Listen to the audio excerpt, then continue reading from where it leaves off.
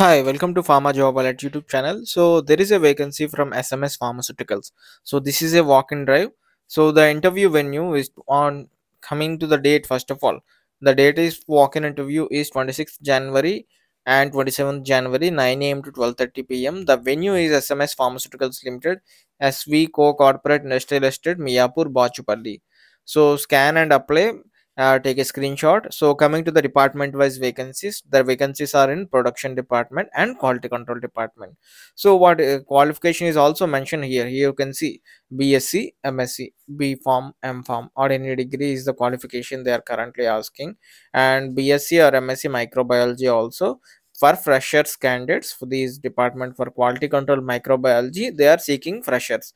So if you are a freshers having the required skill set then you can utilize the opportunity by attending the walk-in drive from SMS Pharmaceuticals. So these are the details regarding the vacancy. For job updates like this, subscribe to Pharma Job Alert YouTube channel and thank you for watching.